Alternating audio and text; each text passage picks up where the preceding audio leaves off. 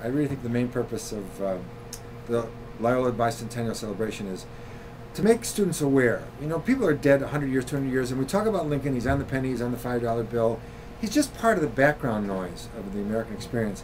But I think it's much more than that. And I think that once you study him a little bit, once you see what he's actually done, yes, he, he split, uh, split logs, yes, he owned a grocery store, yes, he played with children, yes, he wrestled with the other men in town, yes, he is self taught, yes, he freed the slaves.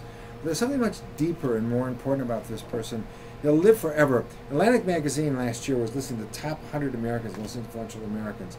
He wasn't just voted the most influential president, he was voted the most influential American in our history.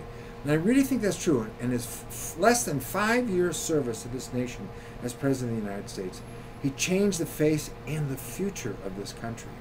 Um, and for that, I, I think we owe him a debt of gratitude. But what's more important is to study his method by which he did it. Because what's really interesting about Lincoln and studying him both as a person and a politician, you may be his enemy and really hate him, but once you stop being his enemy or move to another position, he stopped making you his enemy because he wanted to remember that we can't kill each other just because we disagree. We have to somehow bind those wounds. And what he was very worried about in the in the Civil War was we need to win this war, uh, but we also need to uh, bind the wounds of this war so that we can be a nation again.